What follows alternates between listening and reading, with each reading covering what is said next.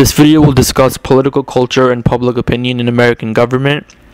Every single country has a political culture. A political culture is basically wide shared, widely shared beliefs, values, and norms concerning the way political and economic life ought to be carried out.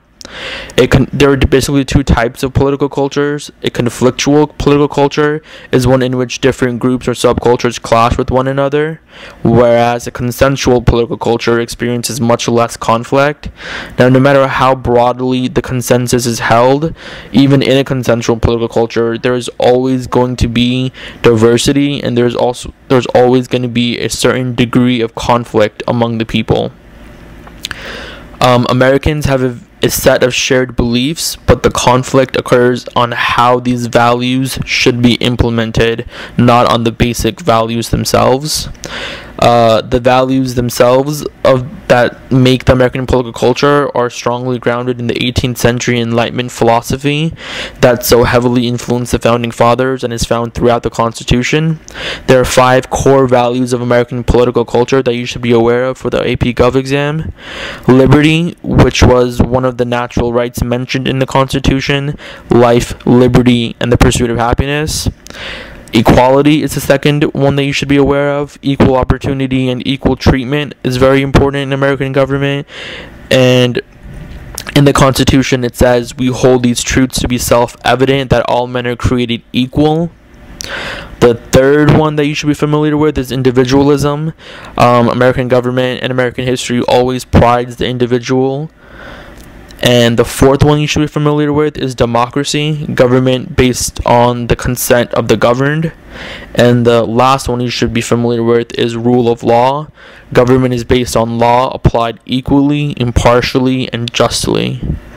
Now, in the in the late 1800s, with the onset of the Industrial Revolution, capitalism and free enterprise became part of the political culture as well. Capitalism is wealth based on money and or other capital goods, whereas free enterprise is economic competition without government restraint. Um, capitalism and free enterprise basically they reinforce the value of individualism I mentioned earlier. However, in the late 1800s, uh, the the new values conflicted with the value of equality. For example, monopolies caused many people to question the equality of opportunity. So, the resolution to this unequal treatment was another value being added to ensure fair treatment in the marketplace, and that value was called, and I quote, promotion of general welfare, end quote. Um, although the preamble to the Constitution states that promotion of the general welfare is a major purpose of government, the meaning of that value was really transformed during the 1930s when the Great Depression brought about the, the near collapse of capitalism. FDR's New Deal program was an affirmation of the government's responsibility for the welfare of its people uh, FDR basically he outlined the second Bill of Rights, and they reflected his firm commitment to economic security and and independence by asserting everyone's right to a job, food, clothing, a decent home, adequate, adequate medical care, and and the right to a good education. Mistrust in the government has been has been high since the 1960s because of certain things like the Watergate scandal and the Vietnam War. Uh, since the government since the government has been proven to be corrupt in the past by things like the Watergate scandal, people are very untrusty and very tend basically tend to mistrust the government. Um, because of the mistrust in government, political efficacy has dropped significantly.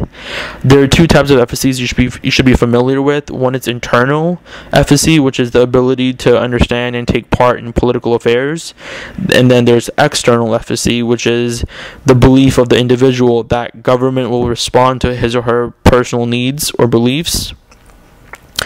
Um, internal efficacy has remained pretty much the same, but since the 1960s, with things like the Watergate scandal, external efficacy has dropped a lot. Uh, this is also another reason why incumbent presidents are much less likely to get reelected. Um, despite the fact that Americans share this broad cultural and political values, conflict has increased throughout the throughout the 20th century, especially since the mid 1900s. The country has really been split on explosive political issues like abortion, gay rights, drug use, school prayer, terrorism, and U.S. and world affairs.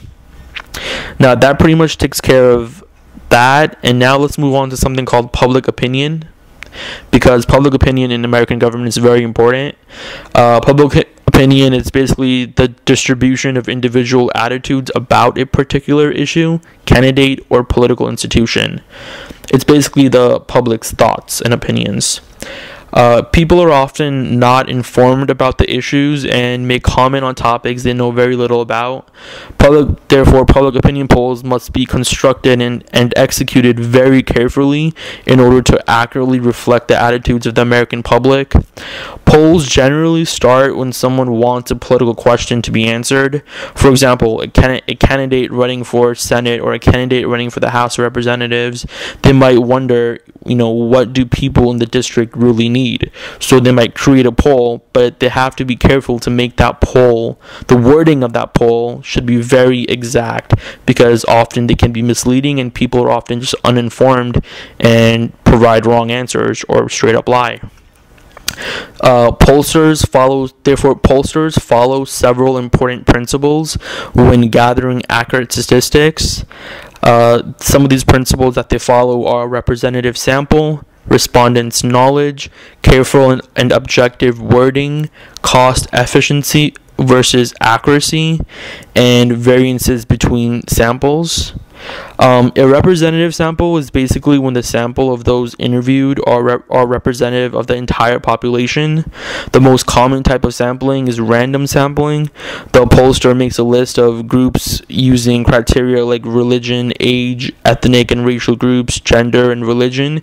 And then from these groups, people are basically randomly selected for interviews. And then the information from the from those interviews is taken and made into a poll. Respondents' knowledge is basically people